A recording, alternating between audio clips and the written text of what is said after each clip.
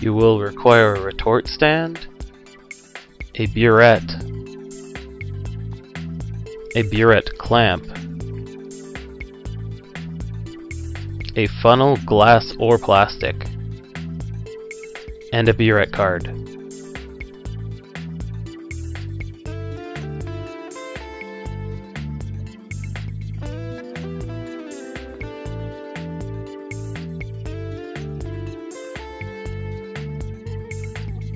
Start by securing the burette clamp to the retort stand. Next, pick up the burette and make sure the stopcock is in the horizontal position, which is closed. If it's in the vertical position, fluid will come out when trying to fill up the burette.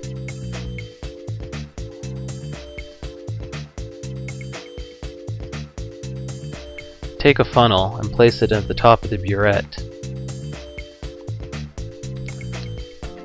Next, you want to add about 10 to 20 milliliters of the solution.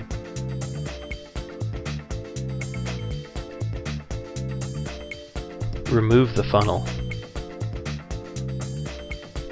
Now you need to tilt the burette on its side and ensure even coating of the interior. Will also need to tilt it back and forth with your fingers to ensure even coating on the entirety of the burette.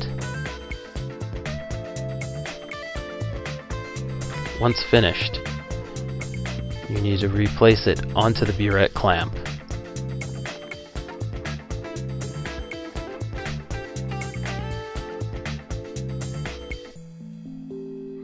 Take a separate waste beaker and place it underneath. Ensure it is fully drained. It is important to repeat this three times.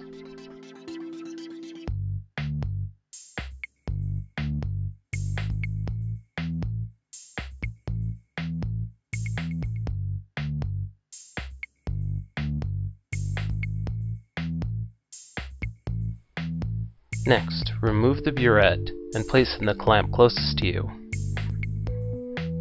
Before filling the burette, you need to make sure the top of the burette is at mouth or nose level so it is easier to fill. Place the glass funnel into the burette. When filling the burette with the funnel, ensure that the funnel is not forming a seal between itself and the opening of the burette. This will ensure that there is not an airlock inside of the burette.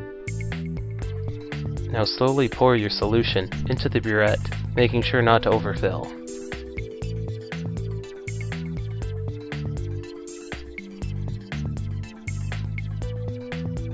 Once finished, remove the funnel.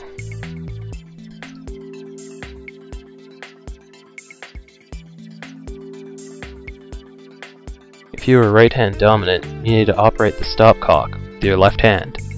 Place your middle finger and index finger underneath the stopcock as shown. Place your thumb on top of your middle finger and use that to engage and disengage the stopcock. If you are left-hand dominant, you need to operate the stopcock with your right hand. Place your index and middle finger underneath the stopcock and operate it with your thumb on top of your middle finger. You can engage and disengage the stopcock this way.